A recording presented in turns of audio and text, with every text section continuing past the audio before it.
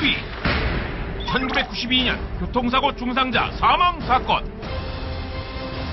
92년경에 발생한 사건인데 어떤 분이 이제 가락동 근처에서 이제 손수레를 몰고 가다가 그 화물 트럭에 치이셨어요. 그래서 큰 이제 상처를 중상을 입으셨는데 다행히 이제 택시를 잡아가지고 근처의 병원으로 빨리 이송을 했어요.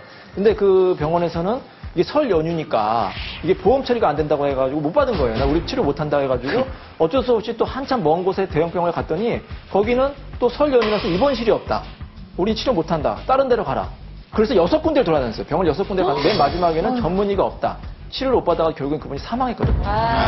병원만 도서. 예, 그리고 혹시 여러분이 이렇게 대처를 하세요. 만약에 병원에 갔는데 그 의사나 병원이 진료를 거부한다. 근데 우리 의료법에 보면은 의료인은 정당한 사유 없이 진료를 거부하지 못한다. 이런 규정이 있고요. 만약에 이것을 거부할 경우에는 형사 어, 처벌도 받을 수가 있고 의사 면허 정지될 수 있으니까 강력하게 요구하시면 됩니다. 변호사님 말씀대로 의료 행위를 거부하지 않아요.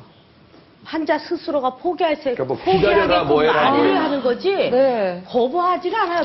저희는 밤에 침대에서 떨어져서 남편이 고관절이 고관절. 이게 부러져가지고 전체를 마비가 돼갖고 못 썼어요.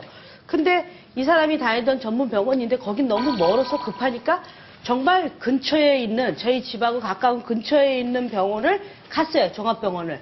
그랬더니 딱 보더니 이제 상태가 심각한 환자의 상태이니까 이 병원에서 뭐라고 얘기했냐면 자료 근거가 없기 때문에 이 사람에 대해서 할 수가 없으니까 병원에 가서 그 자료 기, 그 기구를 원래- 갖고 원래 와서 데. 어, 원래 갔던 데 가서 치료를 갖고 와서 하게 해야지만 하겠다는 건 또 어르신 말씀이야 그것도.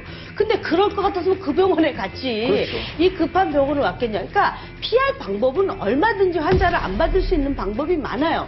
그리고 우리 병원에는 입원실이 없기 때문에 응급실에서 3일 계시, 어, 계시다, 계시는 것까지는 저희가 뭐라고 하지 않습니다. 계시는데 수술은 그 뒤에 한다면 여기가 썩어나가는지 뭐 가는지는 책임을 당신이 져야 된다고 얘기하는데 어떻게 그 병원에 있어요? 그러니까 거기서 또 다른 병원을 또 가까운 데를 갔어.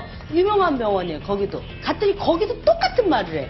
병실이 없습니다. 응급실에서 기다려야 되고 의사 선생님 수술이 꽉 차 있기 때문에 이 환자가 응급이라 하더라도 이 수술을 할 수 있는 전문 선생님은 며칠을 기다리셔야 되는데 그때까지 우리가 응급처치만 해드릴 뿐 수술은 못합니다 이렇게 돼요. 어. 수술을 그런 식으로 피했어도 우리가 고소가 되냐는 거죠. 아, 그렇죠. 수술을 만약에 안 해가지고 그 환자가 다치거나 뭐 크게 뭐 사망하거나 했다. 네. 그럴 경우 의료 과실로 손해배상 책임 물릴 그러니까. 충분히 수술을 할 조건이고 할 수도 있는데도 그걸 거부했다면 문제가 되는 거죠. 근데 근데 그 거는 문제가 이제. 따져봐야죠. 정말 안 되는 음, 상황이 이제 어떻게 얘기하면 현실적으로 여러 가지 또 뭐좀 그렇죠. 어려움이 있겠죠. 김승환